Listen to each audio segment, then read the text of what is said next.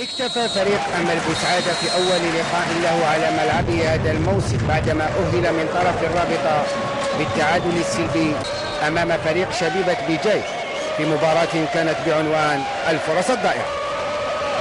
ورغم البداية القوية لأبناء باشا وأول فرصة عن طريق خيروي رأسيته تجد الحارس علوي بالمرصاد رد الشبيبة كان بتسديدة بن عياش القائم الأيمن يرد الكرة. وفي الوقت البدل الضائع ركنية للشبيبة وفي كرة مباشرة يردها الحارس متحزم تجد المهاجم خزري يسدد. كرته تصطدم بالعارضة ثم تسقط. بنقطة احتج عليها فريق الشبيبة كثيرا. هذه الإعادة ولكم الحق. وعلى هذه اللقطة انتهى الشوط الأول.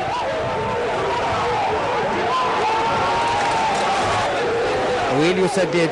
الحارس علوي بالمرصد دقيقة بعد ذلك طويل وبكرة أقوى وأدق. لكن الحارس علوي ببراعة يبعد الكرة. ليواصل الأمل الضغط. هذه المرة جبل يسدد لكن أحسن رجل من الشبيبة علوي بالمرصد من جهتها شبيبة بجاية حاولت امتصاص ضغط بوسعادة بالاعتماد على الكرات القصيرة مع هجمات معاكسة لكن بدون جدل. آخر الدقائق لم تأتي بالخبر السعيد للأمل الذي اكتفى بنقطة فيما عاد زملاء برشيش إلى الديار بدون انهزام في انتظار تحسن الأمور فيما هو قادم من جولات وناريفي با ما قدرناش يعني مم نتائج على برا. ناري با نعاودوا بنقطة مينيموم مي اليوم الحمد لله. يعني كي تشوف لا فيزيونومي تاع الماتش je pense qu'on méritait euh, le, point, le méritait euh, largement, mais on méritait aussi de gagner. Kitchouf hein, c'est sincèrement le but, euh, les Marquina, il a été enlevé ou la mais bon, il faut se contenter d'un point d'ailleurs. لقطة مثيرة للجدل سنشاهدها بعد لحظات هل كان هدف شبيبة بجاية شرعيا أو لا؟ ولكن نقطة مهمة من الناحية النفسية بعد.